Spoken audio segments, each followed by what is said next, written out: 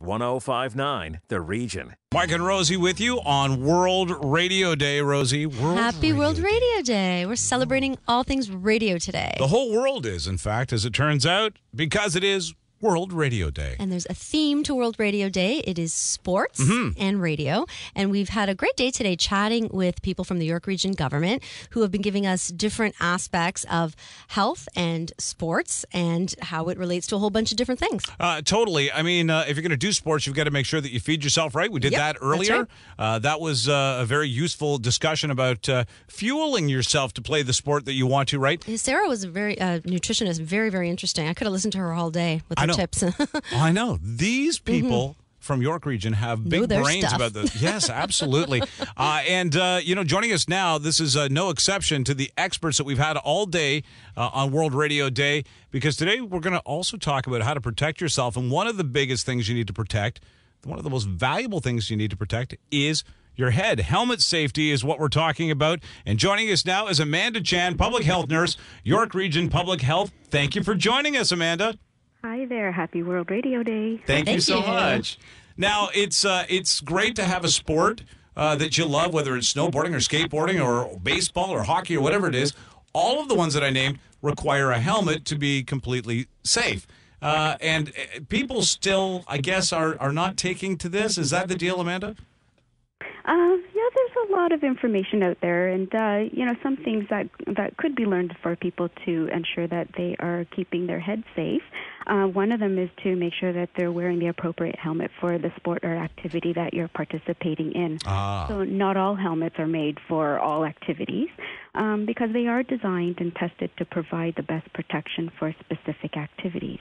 Um, so some helmets can cover more of the back of your head or are designed to protect against more than one crash, especially in activities where falls are more common. Now, you guys recommend that you buy a helmet that meets industry standards. How do you know that you have one of those? For sure. Uh, you look for labels that um, say CSA on it, which is the Canadian Standards Association, or CPSC, which is the Consumer Product Safety Commission, or SNELL from Snell Memorial Foundation. And these are labels that will certify that a helmet has been designed and tested by the manufacturer to protect your head. Now, uh, protecting your head is one thing, uh, but uh, not even just protecting your actual skull. Uh, another thing that you recommend is uh, eye protection. Uh, yes, uh, for certain sports where they're flying objects, um, certain use goggles.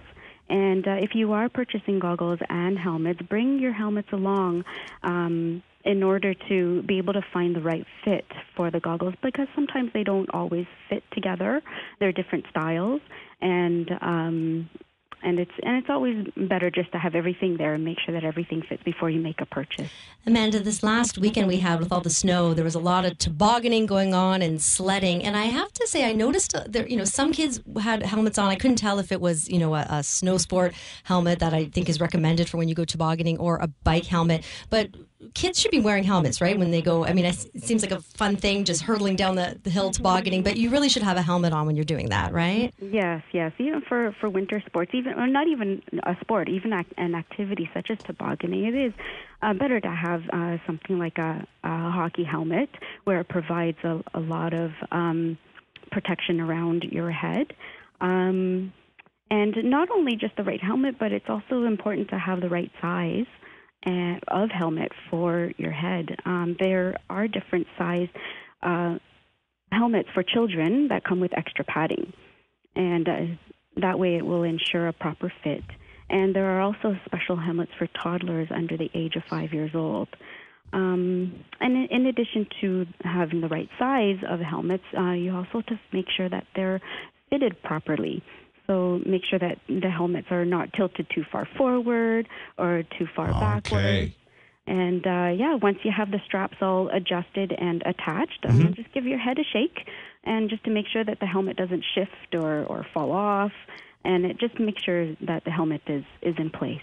Protect your head. Enjoy your sport. Amanda, thank you for joining us this afternoon. We were speaking with uh, Amanda Chan, public health nurse, York Region Public Health. Happy World Radio Day. Thanks, Amanda. Thank you. Thank you.